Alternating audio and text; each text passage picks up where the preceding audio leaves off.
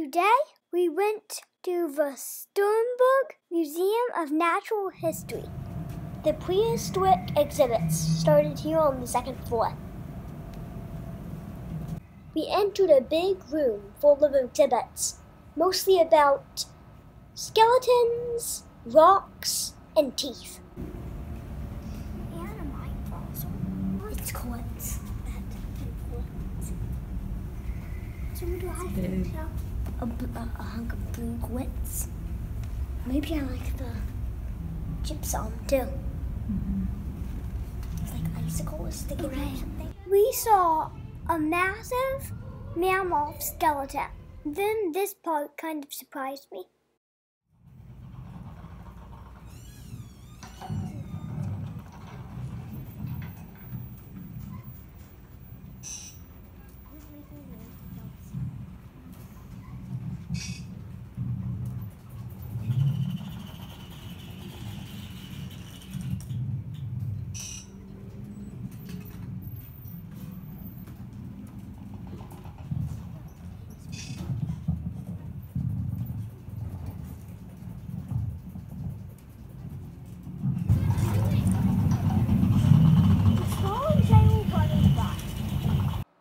After all of the animatronic giant insects, we saw a bunch of real rattlesnakes.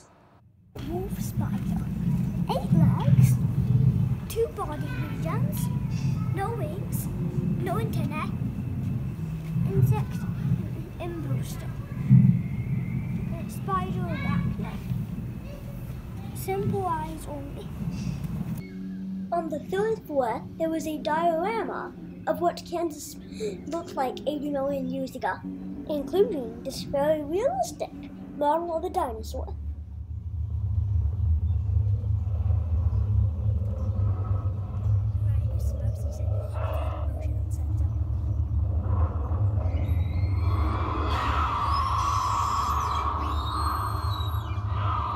Well, this place is half a place where you can study like what ancient dinosaurs looked like, and half a, a, a, house of horror because there's like because one of them uh, because some of them can can actually move.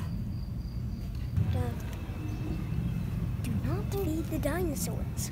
Stay on the path. Last, we learned about the evolution of the iMac, a very interesting uh, type of animal that loves to browse. It was altogether a thrilling experience.